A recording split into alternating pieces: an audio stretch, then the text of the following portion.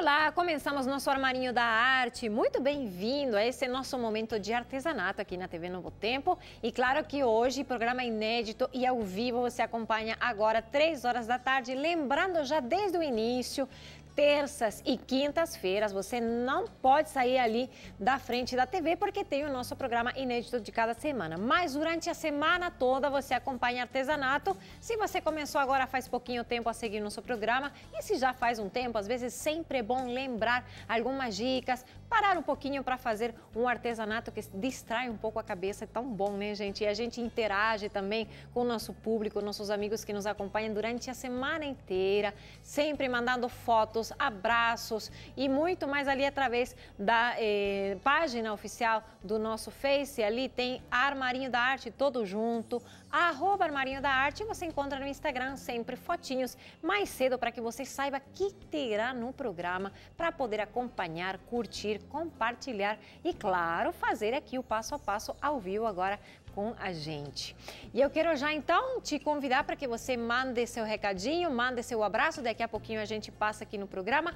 E também te convidar para você entrar no nosso blog novotempo.com/barra Marinho da Arte, onde você tem os vídeos dos programas, os moldes, você hoje vai precisar de molde, então já vai ficando pertinho que depois do programa a gente põe ali para você e tem a lista de materiais. Às vezes não dá tempo para anotar ali é, no ar, então não se preocupe, você entra com tempo ali, pode então é, tranquilamente fazer suas anotações. E hoje trouxe uma é, coisinha que tenho certeza as mulheres vão apreciar muito, muitas vezes precisa, e é aqui o nosso porta-níquel com formato de borboleta. Então você pode pegar qualquer, é, deixa eu ver se está na câmera, câmera, certa, acho que era aqui, né? No, no meu colega, estou fazendo errado. É, essa borboletinha aqui é muito fácil para você fazer tá bom? E aí eu vou te ensinar como você vai pregar o zíper, tá? E a gente fez ela até com um outro tecidinho lá dentro e você vai pensar, nossa, mas é pequeno, aí vai dar trabalho para pôr. Não, gente, vai ver como é muito, muito fácil. Eu vou te ensinar então o passo a passo daqui a pouquinho agora no nosso programa. Mas antes preciso passar para você a lista de materiais. Veja só o que você precisa para fazer esse porta-moedas para poder presentear ou para você mesmo.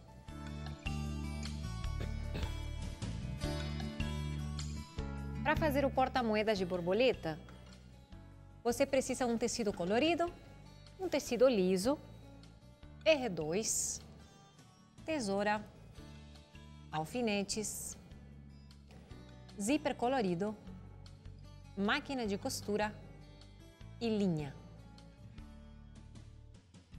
Muito bom. Então a gente já preparado, tenho várias coisinhas aqui para passar para vocês e mostrar como é que faz o passo a passo. Esse eu vou deixar para depois para te mostrar. O que, que a gente fez? Primeiro, eu preciso de um molde, tá? Então posso usar a borboleta desse jeito assim, com a asa maior e a outra de baixo é, um pouquinho menor né, ou até virada um pouquinho assim, que também fica dos dois jeitos, de acordo com o desenhista, né? Às vezes a gente vai trocando a posição da borboleta. Então você escolhe já de que jeito você vai usar, porque depois na hora de colocar o zíper vai precisar é, ter um sentido, né? Para você saber de onde que abre e fecha.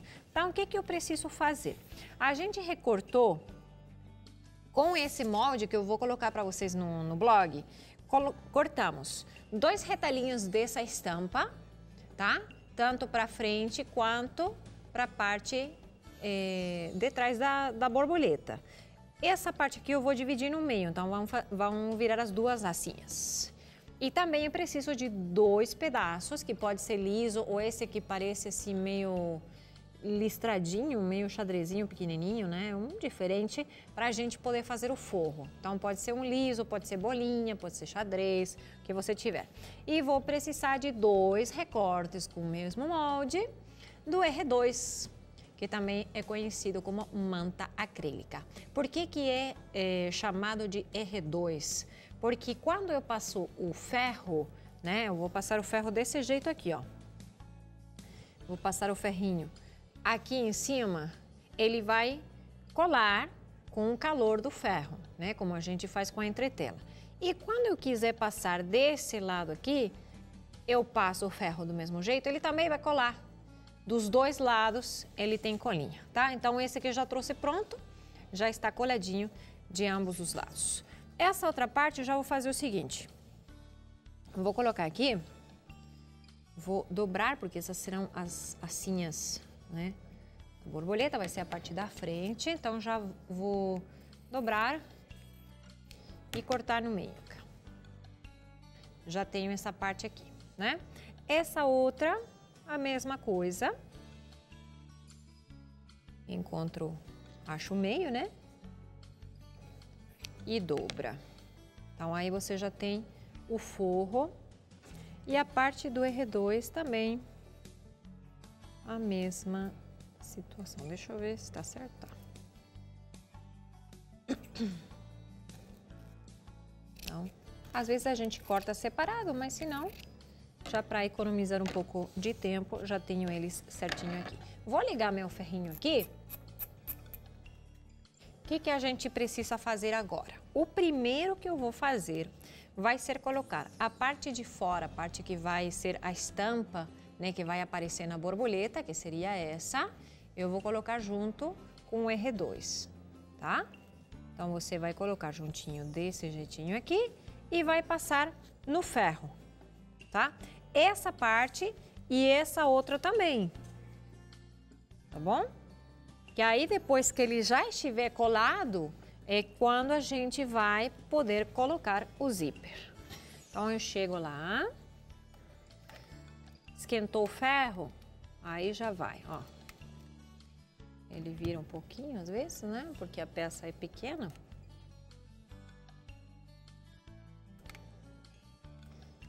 Mas fica um pouquinho mais plano. Aqui, ok desligo o ferro e vou lá para costurar o zíper. Então, é, como o tecido que eu escolhi tem verde, azul, rosa, pink, né, um rosinha mais claro, tem até um vermelhinho, parece um vermelho, mas na verdade eu acho que é meio um, um vinho. É, e tem também um azul celeste, o meu turquesa, eu posso brincar um pouquinho com o zíper, combinando com as cores que eu tenho no meu tecido. Então, o que, que eu vou fazer? Vou colocar o zíper desse jeito. Essa partezinha aqui de metal que ele tem, você vai deixar um pouquinho para baixo, tá? E aí você vai passar alguns alfinetes. Não precisa comprar um zíper do tamanho certo da borboleta. Então, se você tiver um zíper de 18 centímetros, 15, 20, tá ótimo. Você vai poder usar para esse seu artesanato.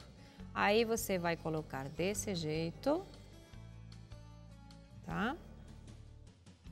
E o zíper encaixa aí certinho pela altura, né? Para que a assinha também fique, essa outra fique no mesmo tamanho. Então, como eu estava falando para vocês, não precisa que o zíper seja do tamanho, né? da borboleta. A gente vai cortar. E depois ele não sai mesmo. Se você fizer certinho, não sai. Ok, eu tenho então essas duas partes. Vou levar lá na, na, minha máquina de costura e pregar o zíper. Como esse é um zíper convencional, não é zíper invisível, que é o que a gente às vezes se descabela para poder é, pregar, né? Aqui a gente vai fazer um jeito bem mais fácil e também o zíper vai aparecer, que é o que às vezes dá mais trabalho quando a gente tenta colocar com jeitinho. Então, olha só, eu vou lá, coloco aqui na, no meio até, né, da parte do, do, do tecidinho e vou começar a costurar. Eu vou passar até uma, uma costura de outra cor, a linha, para vocês conseguirem acompanhar ali em casa.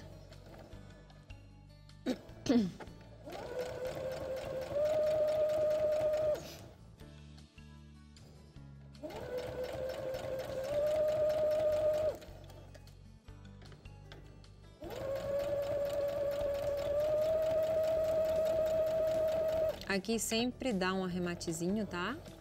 Com sua máquina de costura, para que ele fique bem firme. Aqui a gente já corta as linhas que sobraram. E nesse caso, faço a mesma coisa. Vou costurar também. Sempre que inicio a costura e quando finalizo, a gente dá um reforço aqui para não abrir a costura na hora que a gente está mexendo com zíper.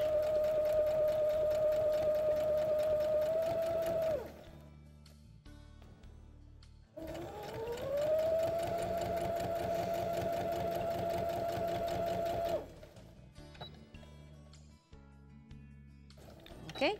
Perfeito. Então aqui cheguei até fazer essa parte. Como que eu vou fazer então para colocar um forro? Porque ele, antes de eu fechar a borboleta, eu vou ter que colocar o forro. Então, se a gente já tem desse jeito aqui, olha, o que, que você vai fazer ali em casa? Essa seria a parte, né? Desse jeito tem que ficar o forro, né? Aparecendo a parte de cima. Então, você coloca assim e assim, com esse, é, juntando, né? A parte da assinha da borboleta. Então, você vai pôr alfinetes e vai passar em cima do mesmo ladinho.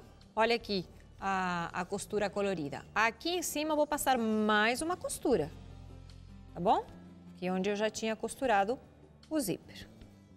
Então, aqui, ó, vou fazer o seguinte. Para a gente poder acompanhar a costura, eu viro, tá? E seguro desse jeitinho aqui.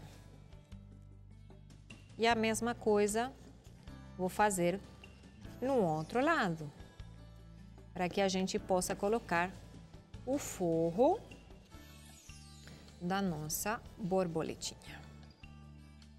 Tá bom? Vou deixar ele prontinho aqui e a gente agora vai fazer um breve intervalo, mas eu já convido você para que fique com a gente no segundo bloco. Tem abraços para você que nos acompanha ao vivo. E claro, finalizamos esse porta-moedas que é bem fácil e bem bonitinho de fazer. Não vai embora, volto já com mais Armarinho da Arte.